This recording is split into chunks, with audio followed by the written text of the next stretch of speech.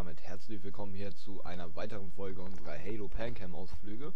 Und wir starten heute in das erste Level von Halo Reach hier rein. Beziehungsweise wir starten heute Halo Reach mit dem ersten Level im Gegensatz zu Halo 3, wo wir von hinten angefangen haben. Und äh, ich weiß nicht, ob euch das erste Level hier noch bekannt ist. Notfallplan Winter heißt es. Ich gucke mich hier einfach erstmal ein bisschen um. Ähm, ich muss sagen, ich finde die Pancam von Halo Reach ganz angenehm, also zumindest hier zur Produktion. Ansonsten finde ich die von 3 besser, aber das können wir gleich noch beschnacken. So, einfach nur um euch mal die Karte hier zu zeigen. Wir haben natürlich jetzt wieder einfach den größten der drei Abschnitte geladen. Da vorne wäre der erste Abschnitt hier des Levels da, wo wir angeflogen kommen, durch das Haus laufen, die Bauern kennenlernen und dann im ersten Tal hier mit den ersten Gegnern Kontakt aufnehmen.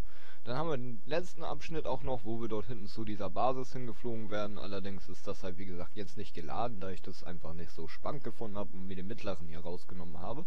Ähm, und ich wollte hier schon immer mal diese Kreuzung entlang fahren, äh, Kreuzung, diese Straße entlang gehen. Normalerweise wird man ja hier entlang geflogen zu dieser Basis, aber ich wollte hier schon immer mal zu Fuß entlang, Leute. Dann machen wir das einfach mal kurz. Das ist auch einfach so eine schöne Sache hier mit der Pancam. Man kann halt überall dahin, wo man sonst nicht hin kann, auch innerhalb des Levels. Wir müssen uns ja nicht immer komplett außerhalb des normalen Levels hier aufhalten. Aber auch hier kommen wir normalerweise nicht so nah ran an diese Bäume hier. Wunderschöne Bäume sind das oder an diese Straße. Denn äh, normalerweise würden wir hier rechts mit dem äh, Hornet, nee, Hornet waren die Dinge aus Halo 3, mit dem Falcon vorbeifliegen und dementsprechend, ja, haben wir ja nicht die Gelegenheit. Außerdem kann ich euch gerade mal hier, gut, jetzt sind wir doch ein bisschen zu schnell, aber ich wollte euch ungefähr mal so ein bisschen auch einen Maßstab in unserer Geschwindigkeit hier geben, denn hier in Halo Reach sind wir jetzt äh, von unserer Geschwindigkeit mit der Pancam auf 100.000 Einheiten ähm, beschränkt, im Gegensatz zu Halo 3, wo wir wirklich uns unendlich schnell gehen konnten und teilweise auch wesentlich schneller werden mussten, um überhaupt die Levelbarrieren zu durchbrechen. Aber unsere normale Bewegungs unsere normale Bewegungsgeschwindigkeit liegt, glaube ich, bei 2,5 maximal hier in Reach. Also bei Halo 3 war es bei 1,5. Und ähm, ja, so viel auf jeden Fall erstmal zu der Straße und einfach nochmal, um euch hier wieder mal die Maßstäbe zu zeigen. Das hier ist das gesamte Kampagnenareal, was man normalerweise spielt und hier seht ihr gleich schon, das Drumherum ist natürlich wesentlich riesiger. Allerdings spart Bungie hier in der Skybox in Reach und allen Ecken und Enden. Alles was nicht wirklich gebraucht wird und nötig ist, wurde auch nicht gemacht. Deswegen sieht das in Reach hier ein bisschen komisch aus, wenn man so ein bisschen weiter rausfliegt. Im Gegensatz zu Halo 3, wo halt wirklich alles überall in alle Richtungen ausmodelliert war. Egal ob man es von der Karte aus sehen konnte oder nicht. Nur äh, hier haben wir zum Beispiel halt diesen Fall, dass wir hinter der Karte eine riesige Felswand haben, über die wir eh nicht hinüber gucken können und dementsprechend muss man dahinter auch nicht viel groß modellieren. Aber hier haben wir auf dieser Seite immer noch ein großes, weites, offenes Becken und wir gucken uns das einfach mal ein bisschen näher an, nur mal wieder zum Vergleich, wo unsere Karte ist, einfach, dass ihr euch so ein bisschen orientieren könnt und auch wieder an den Maßstäben, denn es ist eigentlich, ja, echt das Atemberaubendste. Wir sind jetzt auch wieder bei voller Geschwindigkeit hier mit 100.000, wie wir ganz rechts an den Koordinaten sehen. Und, ähm, ja, also ich meine, so schnell kommt es einem hier nicht vor, aber es kommt einfach trotzdem, weil die Maßstäbe so groß sind. Und äh, ich muss sagen, also ich fand es ein bisschen schöner in Halo 3, aber nichtsdestotrotz, Reach hier wird es auch noch einige wunderbare Level geben. Jetzt das erste hier ist ein bisschen langweilig von der Pancam anzusehen. Ja, was heißt langweilig, aber äh, das werden wir dauerhaft haben, dass halt wie gesagt nicht immer alles ausmodelliert ist und wir auch manchmal so einiges an Grafikfehlern haben, wie wir da hinten schon an dem blauen Himmel erkennen können. Und was ist das denn hier vorne? Äh, ohne kleine 2D-Wolkendecke und ach so, das ist ein Stein. Jetzt, jetzt sieht man es hier von der Karte aus gesehen, kann man es natürlich auch ordentlich sehen.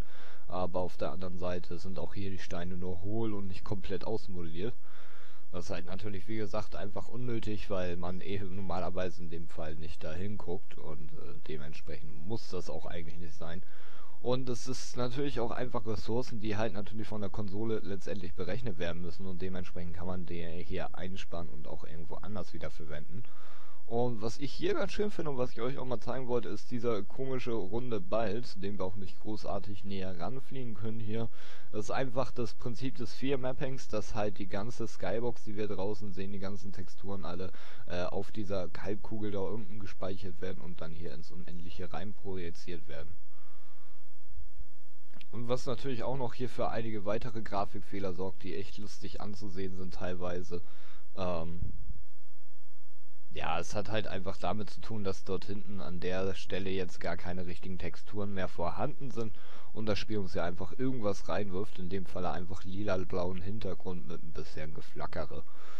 Und auch hier sehen wir, irgendwo ist halt das ganze Becken zu Ende. Ich hätte gar nicht gedacht, dass wir so weit zur Seite fliegen können, weil wir hier in Reach nicht mehr alle Barrieren durchbrechen können, aber doch noch ziemlich viele, um zumindest uns hier schöne Ausflüge zu machen, weil ich meine, was sollen wir da hinten links im blauen Nichts rumfliegen?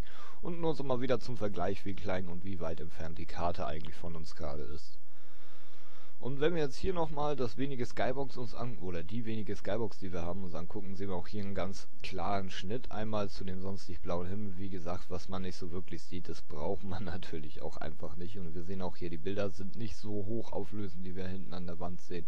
Und auch dieser Planet ist eigentlich wieder das gleiche Prinzip wie bei Halo 3, dass es nur ein zweidimensionales Bild ist, was hier im dreidimensionalen Raum siehst können wir allerdings diesmal leider nicht ganz so gut zeigen, da wir hier nicht ganz die Möglichkeit haben, so weit an das Level oder an die Levelbarrieren ranzufliegen. In Halo 3 könnten wir wirklich außerhalb dieser Halbkugel hier rausfliegen, was immer, ja, was ich immer ganz gut an halt an Reach oder an der Reach Pancam empfehlen kann.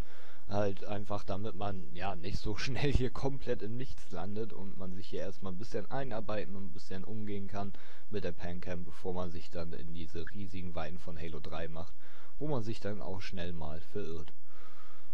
So, und dann haben wir zu guter Letzt hier noch, glaube ich, diesen kleinen, ich weiß gar nicht, was das sein soll, Planeten, Kometen, Staubschweif, was weiß ich. Und hier können wir auch ein bisschen weiter. Hey, cool, das gefällt mir. Kann ich euch nochmal zeigen, wie das Ganze hier auch wirklich nur so zweidimensional ist. Und oh, sieht die Karte gerade geil aus, Leute. Das hat auch mal was. Ich würde davon jetzt gerne einen Screenshot machen, aber wenn ich hier Ingame Screenshot mache, dann ähm, werden diese komischen Flimmer-Effekte und alle durch irgendwelche x-beliebigen Farben ersetzen. Das sieht nicht mehr so cool aus wie jetzt gerade. Also kümmern wir uns lieber nochmal um diesen Kometenschweif hier, der ja auch nur zweidimensional im Raum steht, aber sieht echt hübsch aus, muss man ja schon sagen. Also, auch wenn das Ganze ist, ist halt wie gesagt das, was man nicht braucht, ist nicht da, aber das, was da ist, sieht mal wieder wunderbar aus. Ich meine, Bungie hat einfach herrliche 2D- und 3D-Künstler. Und ja, Leute, wenn es euch gefallen hat, liked das Video, abonniert den Kanal und dann sehen wir uns in der nächsten Folge wieder in Halo Reach Pancam.